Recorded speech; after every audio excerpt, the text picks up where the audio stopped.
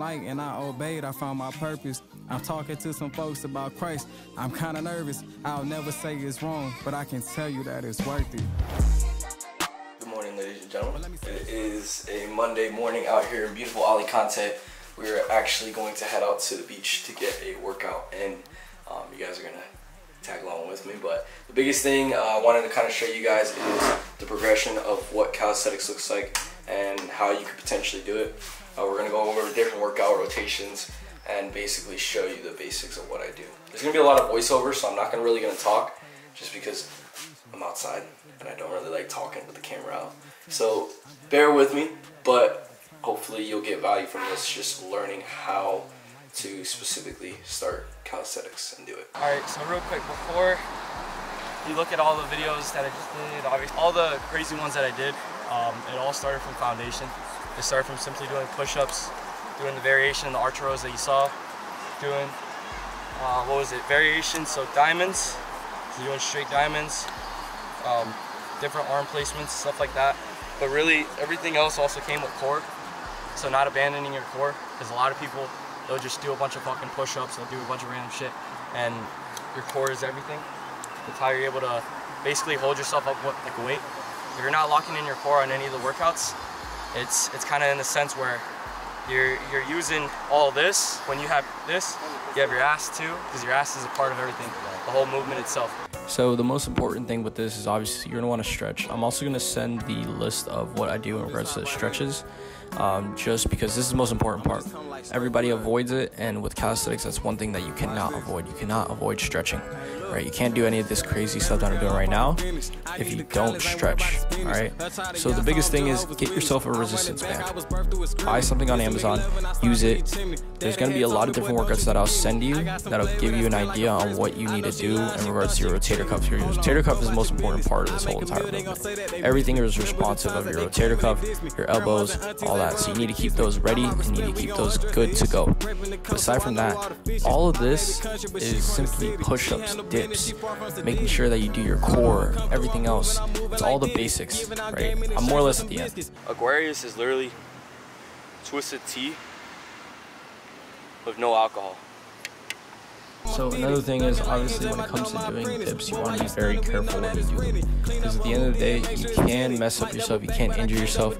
But if you feel like you don't have enough development in regards to your actual chest, in regards to your arms, everything else, I'd say first and foremost, use regular dips on a regular bar. And then also use the assisted ones that they have in the actual gym itself right? And if you can't find something like that, use a bench and simply do assisted dips on the bench right? Find any way just to do the movement so your body can get used to doing it.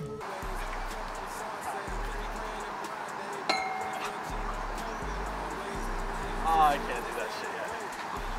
Cannot. Wait for him to finish up.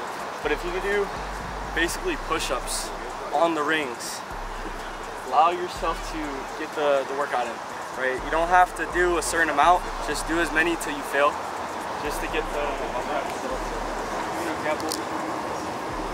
you line them up evenly and say if it was a little bit lower. So it's basically be an example. If you have them up from here, come at an angle, whatever you're confident with, because your weight's also gonna fuck it up. So simply just do a regular push-up.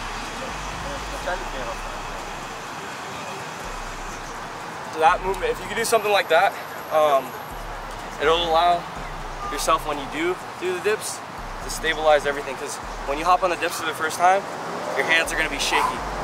That's the, that's the big problem. That's why a lot of people don't do it anymore because they feel like they're going to get injured really fast. But nobody wants to do the regular stuff, so you can do simple ones like this.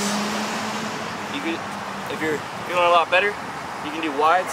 So from here, you bring everything together, you open out. Or you could do regular ones where you're squeezing the arms if you include that into your sets, it will allow you to progress faster when you're doing your dips. You kind of want to have them up to this level. If you do it a little bit lower, it's fine. It's just a lot more leverage on your part. You're doing it to the point where it squeezes. And then when you go up, you don't want to flare your arms like this. That'll cause injury, especially since you don't have anything developed yet. You keep everything short, so everything close thin. Then obviously your focus is to get your first one in. So keep everything in. See in the beginning, your arms are gonna do all that crazy shit. Keep everything close. Literally try to grab your your shorts. Okay? And then when you go down, if you, if you can't make it all the way down, that's fine. Worry about just one rep. If you can only do one rep, do one rep, but do a clean rep. So don't cheat yourself. Don't don't do this where you're just like, that's not gonna do anything. If you can only do one, just do one. Yeah? Yeah. Is it hard? Yep. So muscle up progression. This one sucks. I still suck ass at it. There's nothing I can do about it uh, other than just doing different sort of progressions to make it better. But I can't really teach this because I naturally still fuck up. Uh, but you can kind of see the video, use your own reference point. The biggest thing that somebody told me was draw a, a line in the sand. And when you come down, that's when you lift up. So it should be one full motion, but keep in mind, I don't know what the fuck I'm talking about. So.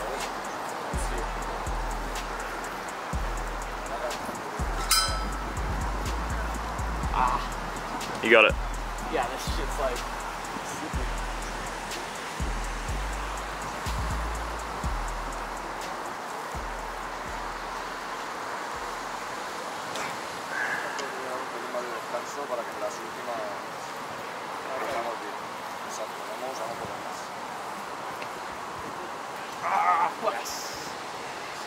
I still can't get it. Ustedes que chulo. I still can't.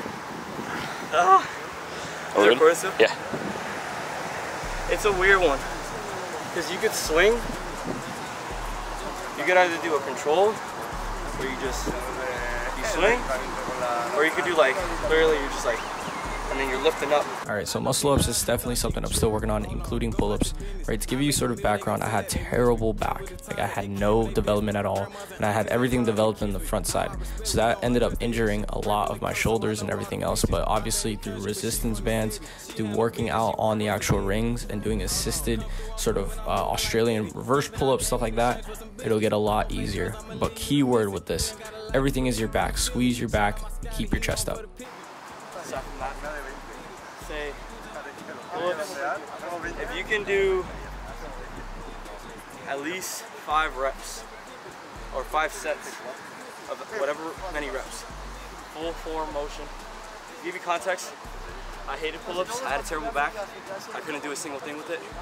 Uh, a lot of what I did to progress is use the rings to your advantage. Um, and then aside from that, focus on just doing quality reps rather than trying to force shit. Because I had rotator cuff pain. Every time I would try, I simply couldn't get up. So it turned to a lot of focusing on these parts here. And doing that is on the rings. That's why I love the rings, because the rings, you really could do any sort of workout you can. Obviously aside from like legs.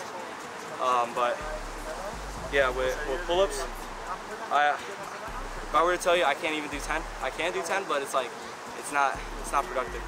It's a, it's a little bit of a mess. So just focus on the quality of it. And usually after each set you do, you get to your fourth or whatever one day you want, and just hold, hold it out from the top, and just feel your back. If you do that every single time, it'll feel a lot better. Uh, and then you can include the L sits, because keep in mind, everybody thinks it's just this. That's sort of your, uh, that's your base. But what I realized it's your entire, like your legs, your ass, your core, it's all one entire motion. It's all one entire weight. So if you treat it like that, you squeeze your glutes, lock your core, and squeeze your back, you'll feel a lot better when you do the pull-ups rather than feeling your shoulders or all this crazy shit. Okay, so pull-ups, see pull-ups there, they suck. Nobody likes to do them. I don't like to do them, but they're good. It's helped my back out so much. And like I said, I was able to get rid of the rotator cuff pain on both sides. Backstory baseball, I did baseball for about 10 plus years, and I always had rotator cuff pain. Once I started doing this, once I started including the things on the actual rings, it made everything so much easier.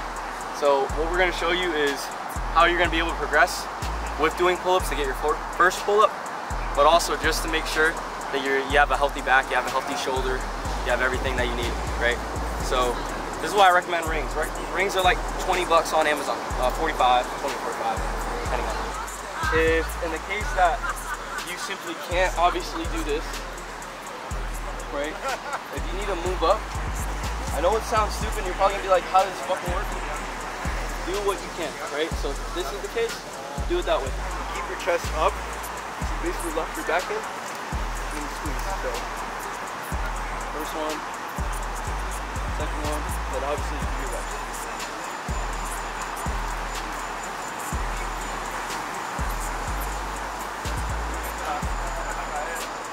last one you hold. Think about chest, chest out, squeeze back.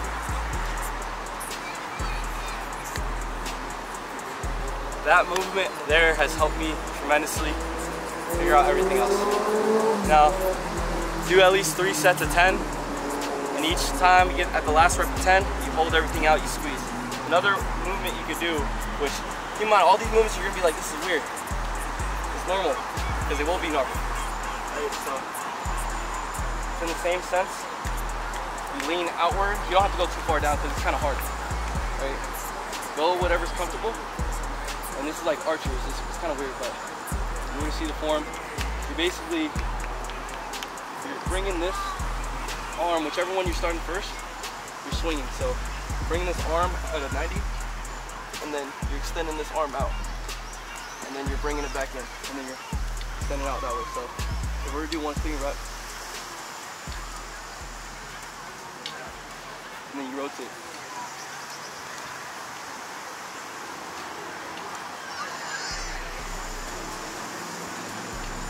If you're already burnt at the end, that's fine. Just include them in your sets. If you can't do any of this, at least do each set of it. Start getting into the habit of doing it. I promise you it's gonna get better and better and better. Keep in mind, there's a lot of weight classes, right? Someone a lot more heavier is not gonna be able to do a lot more, right? Someone a lot more lighter probably will. They'll probably grow really fast. They'll probably gain a lot of pounds, a lot of muscle. They'll be able to actually do it. Um, but that's that's one of them. And then last one, which is weird as fuck. I'm not gonna lie. This is like a reverse Australian, I guess you could say. So obviously grip them in this way. Bring your feet out, and you're basically holding it. You're extending your arms out like this. See the rotation? You go from here. Right? You get your toes, come at it at like an L angle or something. You're, outward. Now this is gonna be a weird movement. The biggest thing is you just squeeze. So the whole goal is when you come up, you're literally trying to just do this. Trying to touch the back. So like right where that bone is. Give you an example. Coming out. Here. And then you squeeze this up. That's the full movement. And you're back.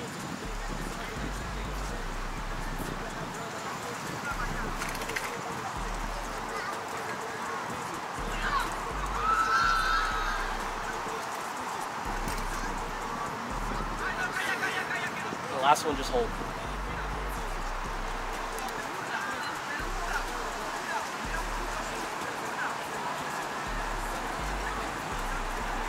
Now, what that does is, like I said, the rotator cuff, right? You're gonna feel this, you're gonna feel this, you're gonna feel this. It's basically like if a, if a cop comes up to you and tries to arrest you type shit, and he's like, put your hand behind your back, something like that, right? So it's gonna feel awkward because this part right here is not gonna like it. But it is a great workout. It cured my rotator cuff. It's helped everything else out. Uh, and it's made it a lot more easier for me to actually like move my arms around and do all that crazy shit. It's kind of like a T-cross, a T-pose. So the whole idea is you're gonna feel, say if you have like sort of uh, elbow pain and shit, it'll feel a lot better. It's a lot better of a way for you to slowly work that out and build it back up to its normal health. Um, I had shoulder pain. I had shoulder pain, this, and it actually helped. Like it genuinely felt a lot better. So give you a sort of you're holding out kind of like in the T pose right here. Standing back, right? And then you're just gonna lean back. So the whole idea is you're putting obviously your body against the pressure, so you're just pressurizing the back. So you're coming at an angle from here and you're just squeezing. and you're holding it for as long as you can until you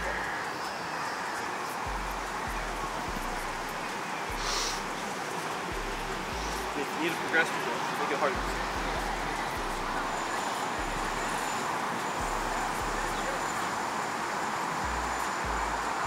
Strong.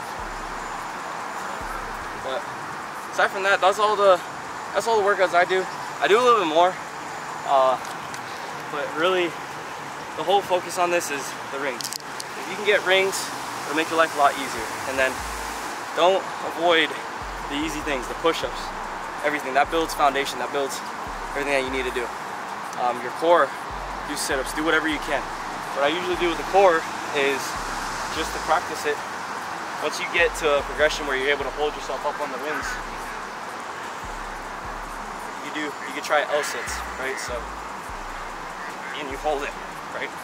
So stuff like that. The way you can do it without this is you just go on a dip bar and just start doing L raises, right? Just start doing those. It'll make this so much easier. But yeah, aside from that, if you guys have one, uh, we're gonna close it off. From the top of the world, boundaries still don't exist. The bottom of the depths, your life still lives. If you dare to dream, as a matter of fact, you dare to take the next step. See y'all later.